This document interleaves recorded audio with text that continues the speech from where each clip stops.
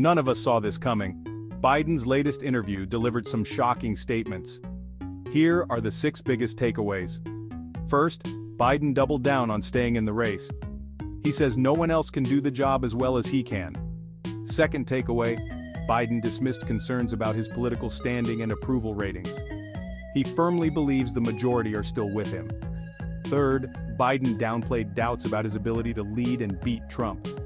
He's confident and unshaken by the critics. Fourth, the Democratic Party is actually more concerned about Biden's age than his policies. This has become a hot topic among party members.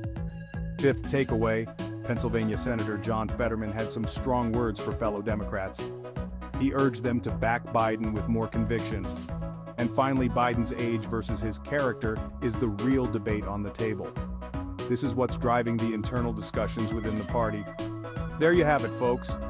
Biden's bold claims and the Democratic Party's internal struggles. What do you think? Let us know in the comments below.